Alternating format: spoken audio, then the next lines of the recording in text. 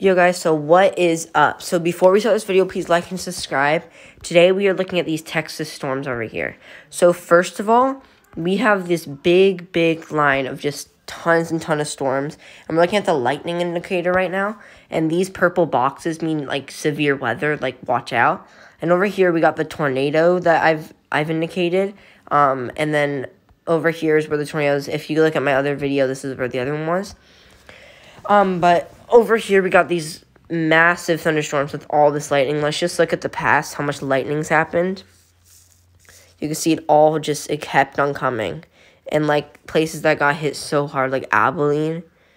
Um, I mean, Albany. Like, that's one storm right there. I mean, yeah, Abilene also over down here.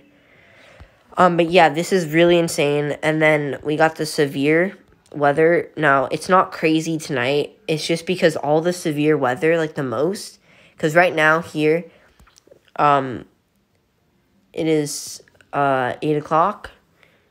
Or actually, no, this is I. No, this is not.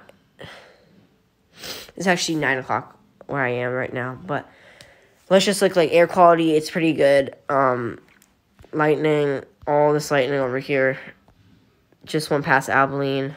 Uh, let's just look at how like